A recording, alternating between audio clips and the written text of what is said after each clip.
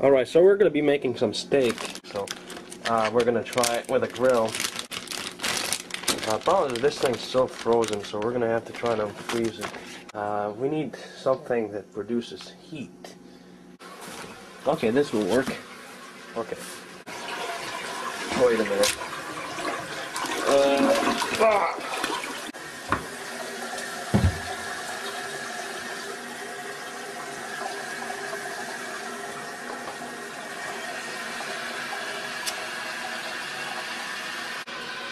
We're just trying to get it a bit softer.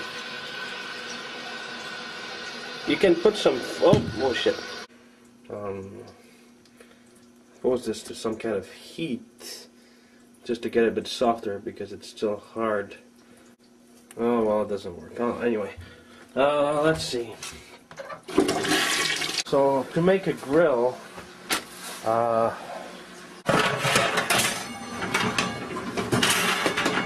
Uh, okay, so we need something to hold this stuff up. And normally I would use like a lemon or something. Um, maybe a battery. No, that's too dangerous. It's gonna explode. Here.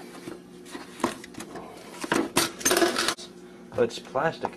It needs something here that, that doesn't melt like plastic and doesn't explode like a battery or... Uh, oh yeah. Ah, perfect. Alright.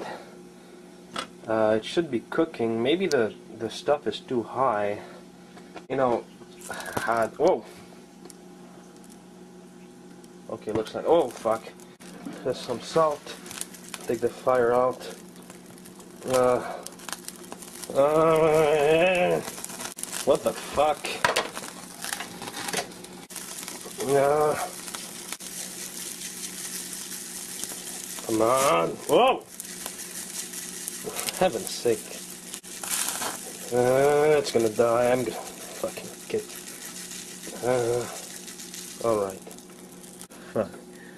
On second thought, um, looks like I need to change the aluminum right now.